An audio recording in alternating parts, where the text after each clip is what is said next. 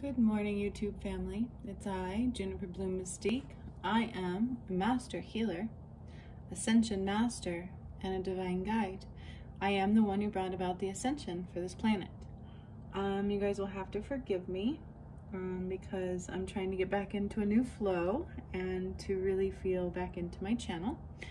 For those of you who are not aware, my twin flame, my DM, died. Um, and that's been a long story I no longer know who he is. Um, and the wand you see was David's. And so his energy is definitely a part of this today. He wanted to be. And each time he does that, it makes me feel really good. So I'm thankful for that. He's like, go grab my wand. And so I did. Um, and so I'm tuning in today for a good morning cup of divine flow. I have my coffee. Um, you know, my new energy and my new card deck. So I did get a new deck um, that I that was called forth today. So I'm really happy. Um, it is the Urban Crow Oracle. So I'm really excited about that. Um, the energy is really good on it. It's really interesting deck. I have not used it a lot, so I will have the book out just in case. I don't always need it. Um, but um, so that's going on so far. I'm gonna see what Spirit has to say, what's going on, what's going around, and kind of get back into the flow of my Good Morning Cups of Divine Flow. Um, I really love doing these videos, and Spirit lets us know what's coming, um, usually what's coming for my healings, for the earth, for the ascension, and also what's coming for us, and what is the proper focus we should be focusing on. And so far, I've done the root chakra, the sacral chakra, and the solar plexus chakra videos. Um, those are all relevant for this time, all three of them. You can even do them in a row. You can focus on one at a time. But either way, they're both very relevant. Um, so I have connected the divine, the twin flames at the root chakra and the sacral chakra. Okay. Um, so keep that in mind if you're allowing the energy to flow from both of those and you're a twin flame, it is very relevant at this time. Um, I do feel like I got attacked. I was out of balance and I got attacked and I've been trying to recover from that. It wasn't as severe as when we got attacked when my twin flame was around um, or was still David. He's around, but he's no longer David, the guy I knew um, and I don't know him yet, and that's what Spirit is telling me. And so um, I'm just going to do my best to stay in balance, to stay open, to process what happened to David still, and to be here for all of you. Okay? Now I'm going to see kind of what's going on in the collective whole. I do have three decks here for today to see what the message is. I really haven't tuned in yet. I do know they wanted my Lemuria deck. And again, they're saying there's more than meets the eye. I keep saying that. That's been a theme, right? There's always more than meets the eye with spirit, no matter what. Hi, my angel baby. My pretty doggy. Hi, my love. You coming over to say hi? Yes, I love you so much. My dog is saying hi. I wish you could see her, but she's behind the camera. It's just my baby girls. Can you say I love you? Can you say I love you? Say good morning.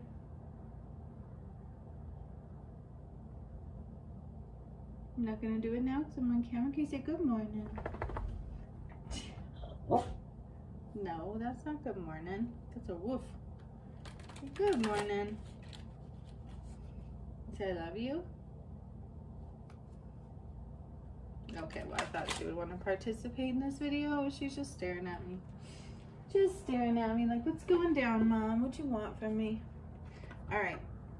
So we're going to kind of tune in and see what Spirit has to say, okay? Take your time and be cautious, but not fearful. No, thank you. It's 5.30. I'm not taking you out right now. You can go lay down. No, you can wait till I'm done.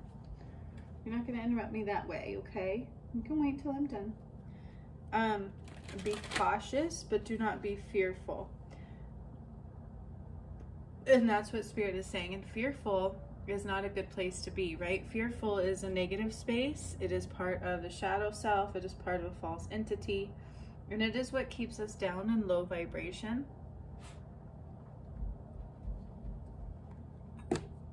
So don't be fearful. Um, stay in like your safe bubble, right? Like your energy of love and light and joy and peace um, and balance and hope and all that kind of stuff, okay? And so this feels so good to be back into this video. I used to do these a lot and with the mishap on my journey with my twin flame, I kind of got out of the flow. And even though I miss him so much, so much from watching my videos, I still feel like he's always with me. And this time, it's a little different the way he's with me, right? So he's not surrounded by darkness. He's with me in spirit and his soul is actually walking around in somebody else, which I've had to process. I'm like, how in the hell would I want anybody but David? That was who I knew as my twin flame. That was my soulmate. And so it's a lot that I'm processing. Um, but I think I'm going to get back into doing these quite often. So I hope you guys are down for that. I hope you're going to enjoy the flow, the new flow on my channel. Again, I'll be doing Hertz music on Mondays now. It took me a couple days to upload the last one for some reason. Um, so just get used to that and maybe hopefully you'll like the new flow that I come up with. Um, and then eventually I'll probably get into missing persons and unsolved cases again. Um, but that last one I was attacked on. And so I'm just kind of giving space for healing and reconnecting to, to, to source in a higher vibration. Okay. Right now, the most important thing for the whole collective to do is to um, sorry about the airplane in the background stay in balance stay in balance in every which way you can now balance is tricky balance in 7D is not the same as balance in 3D balance is very tricky okay and it's so easy to get out of balance way easier than we think it is so when you think about spirituality, there's a balance. When you think about um, practicality, there's a balance. Masculine and feminine, there's a balance. Work and play, there's a balance. There's a balance in every aspect of who you are and everything that you do. And so you've got to kind of do like a reassessment all the time of where am I out of balance? Where am I neglecting self? Where am I not where I should be? Okay. And so like it's almost like tread lightly focus on the spiritual movements, the repetition which in spirit within spiritual flow. Focus on the repetition within spiritual flow. There's always more than meets the eye going on. And so it's super important to trust this. This is what's coming out. Trust this. Trust that there is big, huge movement within the divine. Okay, there is. Have you noticed all the earthquakes and things lately? That's not coincidental if you watch the works workshops that I do and all the things that I do, the last one that I did, um, we took a lot of Christ light into the core of the earth and it was going to be expanding at this time. Um, and I know Mount Rainier was venting after that one. Now I also know I did a healing on Mount Rainier, so what it does is, is beyond me. Um, but it will continue to expand. Um, that is what's happening to the earth. It's spinning faster, it's in a new galaxy. All this is scientifically proven, but it's also proven in my workshops. so if you actually watch the work that I do, you're gonna be like, oh my gosh, who is this lady, right? Um, so just, just, it's like treading lightly, meaning paying attention to the energy that is within you and around you. And if for some reason you cannot, I would reassess your balance, okay? and then trust that what is for you will come for you. What is meant for you will always stay.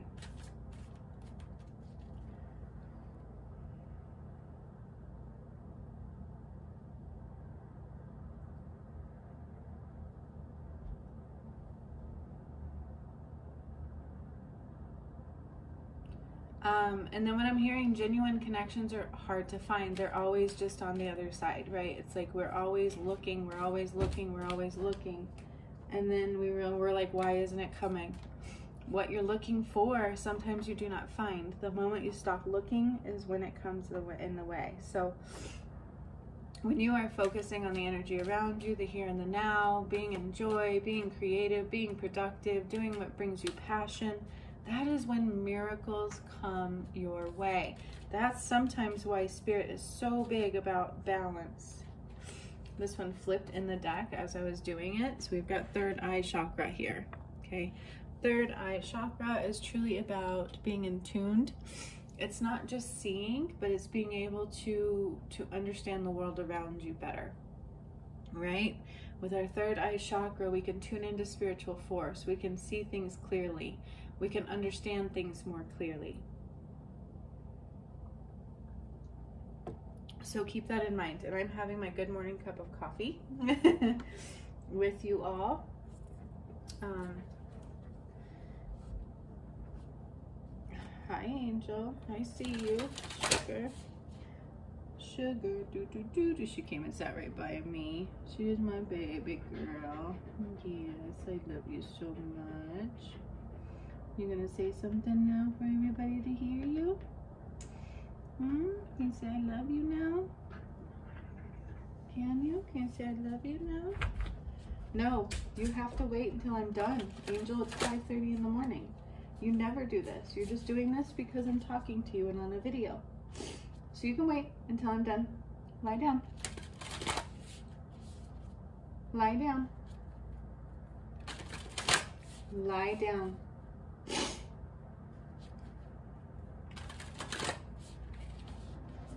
All right, let's see what Lemuria has to say. Let's see what else is coming our way. Yep, there's big movement inbound. There's big unrest.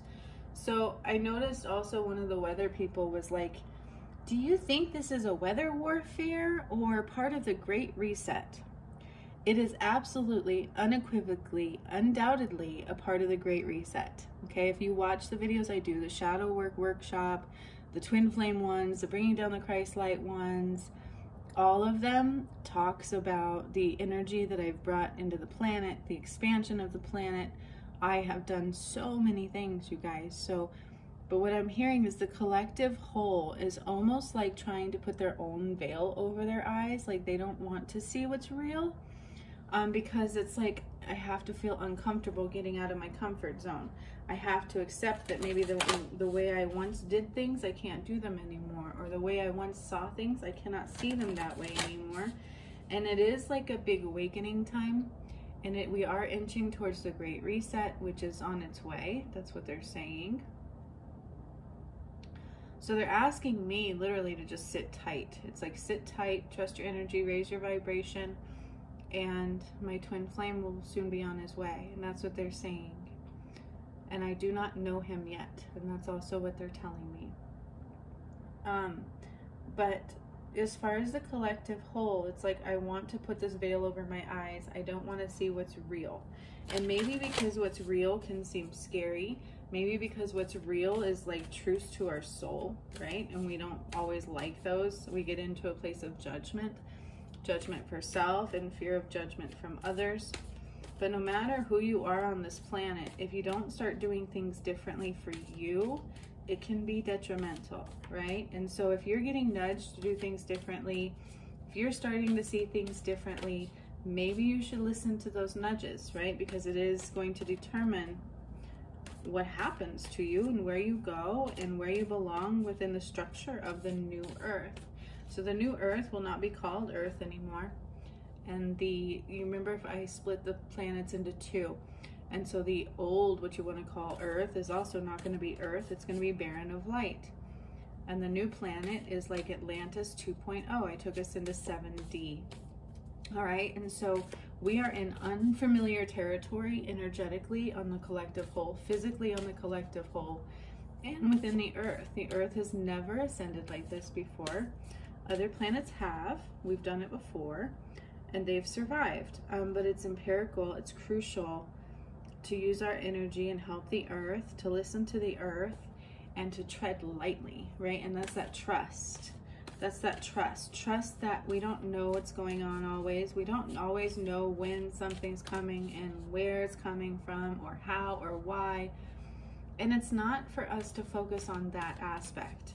It is more for us to focus on, am I feeling good at this time? And what can I do to make sure I feel good at this time?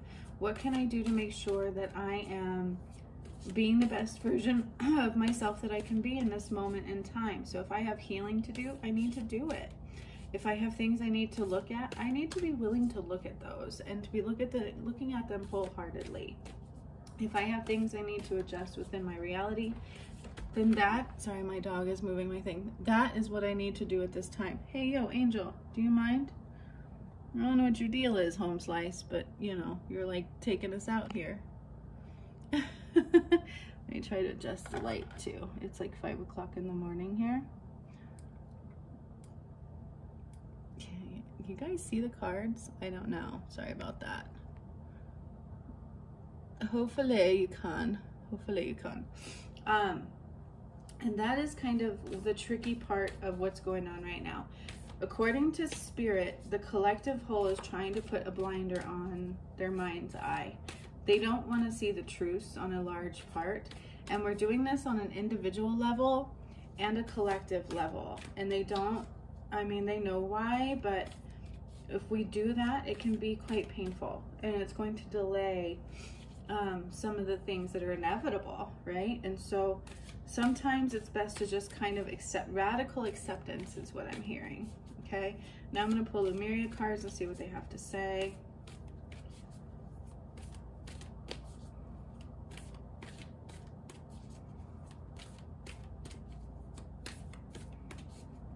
And they're telling me to listen to the music a little more carefully that is in my head with my new twin flame connection.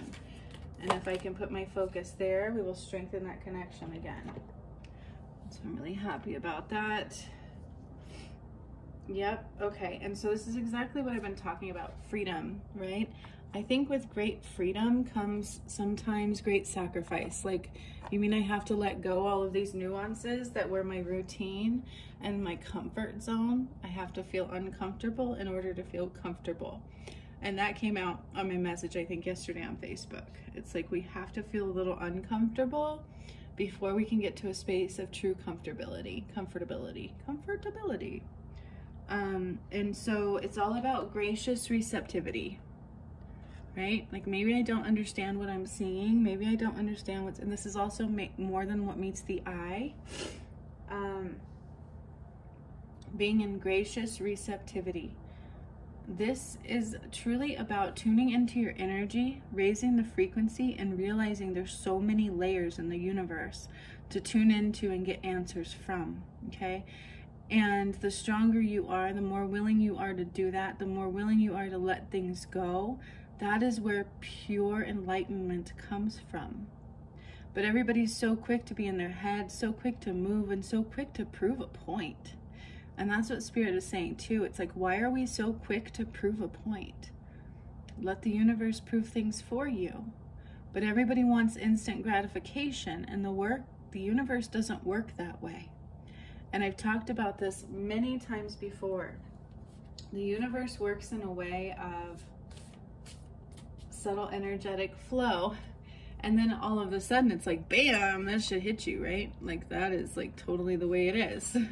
There is no way around that. Um, and that's kind of the way the universe works all right? And my twin flame is the energy of him right now is like yep um, you know he would think certain ways he would hold off and then because because in one day the energy may not be pushing hard right? In one day you may not have what they say is coming but then all of a sudden, the moment you're not thinking about it, the moment you're least expecting it, that's when it's like, wham. That's how spiritual flow works. That's how the universe works. It's tuning in to the aspects of self that connect with those layers of energetic flow. I hope that makes sense. So now I have my new card deck, my new Crow deck, Urban Crow Oracle Guidebook.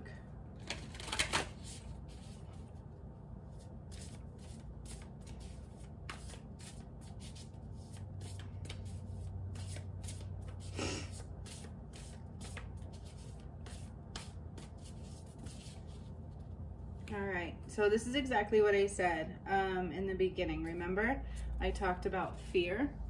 Fear is not of the light. Fear is a tool to keep people small. Fear is what they used against you for the V, right? Um, fear is what they use against the collective whole all the time. Fear is what the darkness loves to use against because it lowers your vibration.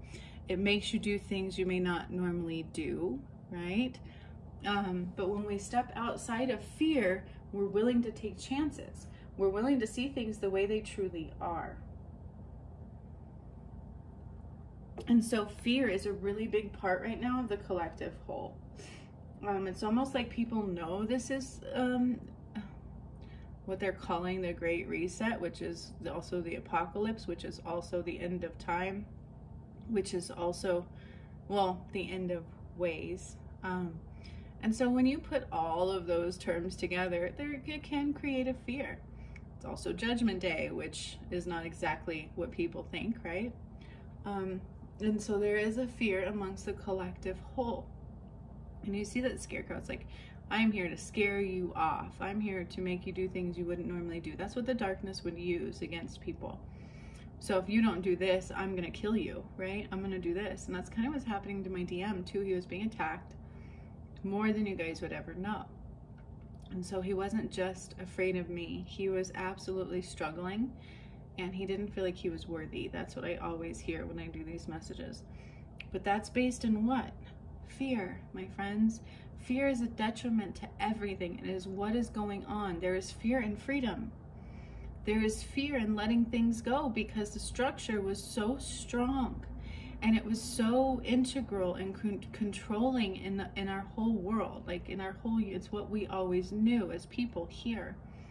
And so this true freedom that is coming in gracious receptivity and trusting in the time and the now and letting that what they call the matrix go is one hell of a fear and the collective right now is trying to hold on to that veil slightly ever so okay so that's what's going on there. Then we have Anomaly. Anomaly. This card is really pretty. I like this card. That is a white crow. And I'm going to look up that one. But then we also have Release. Okay. It's time to release that great control. It is time to release what no longer serves you so that you can be whole. Okay. It is absolutely time to release it's a deep layer of that matrix right now that we are releasing. And this card is interesting to me because if you watched my shadow workshop, I went into the earth and released major darkness that was all around. And that's kind of, it's all about the collective shadow right now also that the um, collective doesn't want to let go of. Okay. And so this anomaly, this white crow, um, I haven't looked it up yet. I just grabbed my book but it, the card alone is talking about balance. It's talking about standing out in the crowd and being okay with that, basically. Um,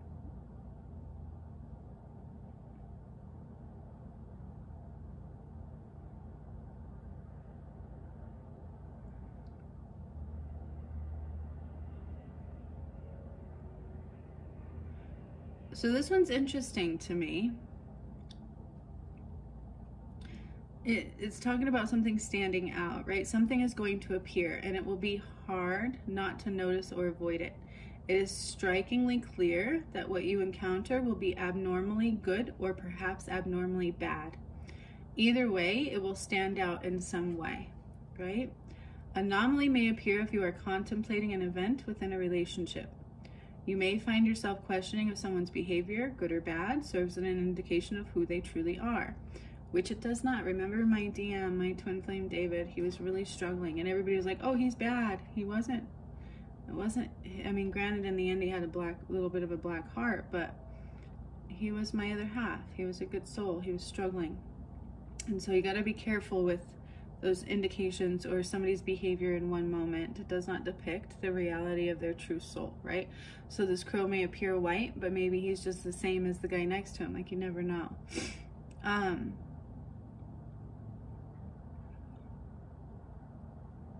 So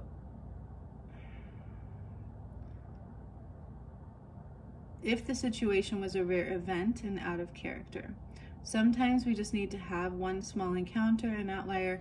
So, really, what this talks about is there is something different coming, right? There is an event that's coming, and it can be good or bad.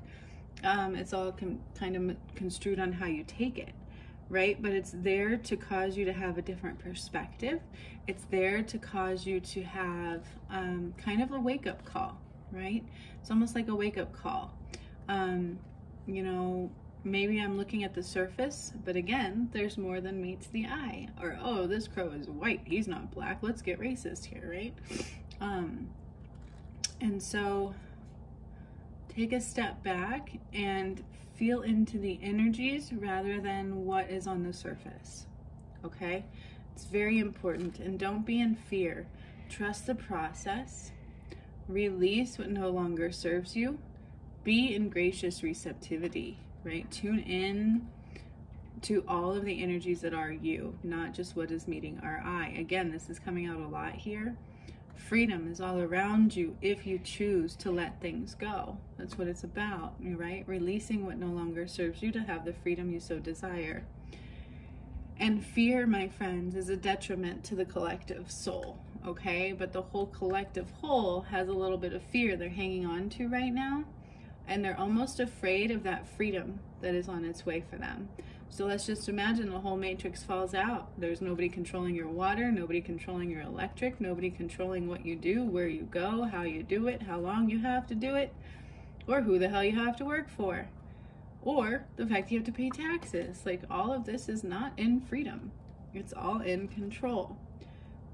And we, as a human species, have a really hard time letting go of that control and being in true freedom. And they can feel it in the weather, they can feel it in the earth, they can feel it within their soul. And Spirit is saying that that anomaly, right, that thing that may be very vastly different, good or bad, is causing a spark within the collective fear. So don't be afraid, my friends. Stay in trust. Allow these things to come to give you a different perspective Maybe it's not always what it seems. Release what does not serve you so that you can have the freedom of your soul. So much love to all of you. Thank you, David, for your energy today. And I will see you guys again very soon. You are right where you're supposed to be. Never forget that.